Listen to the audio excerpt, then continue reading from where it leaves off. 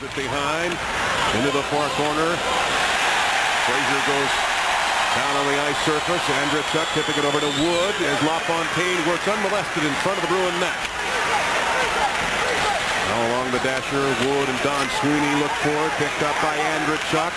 Back to the by point for Hawerchuk. In of shot the goal! LaFontaine on the power play, and we're tied at two.